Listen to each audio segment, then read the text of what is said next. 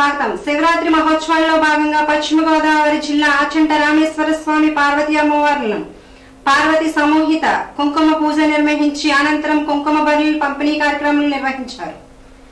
ఆలయ వివో పర్యవేక్షణలో దాదాపు ఐదు వేల మంది మహిళలు ఈ కార్యక్రమంలో పాల్గొన్నారు.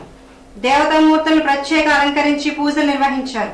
అరహర మహాదేవ శంభో శంకర అంటూ పార్వతీన అరహర మహాదేవ శంభో శంకర ఓం నమ శివాయ పార్వతీ నమ అంటూ జపిస్తూ నామస్మరణ చేస్తూ మహిళలు పెద్ద సంఖ్యలో పాల్గొన్నారు.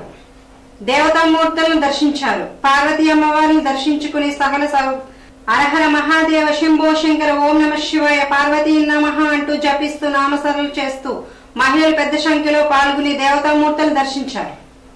పార్వతీ అమ్మవారు దర్శించుకుంటే సకల సౌభాగ్యాలు కలుగుతాయని అమ్మవారి కుంకుమ బలిని తమ గృహంలో పెట్టుకుంటే సకల సౌభాగ్యాలు కలుగుతాయని భక్తులు ప్రగడన విశ్వాసం.